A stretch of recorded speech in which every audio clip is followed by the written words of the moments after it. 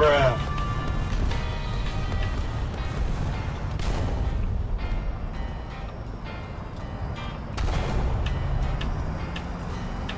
Really, nigga?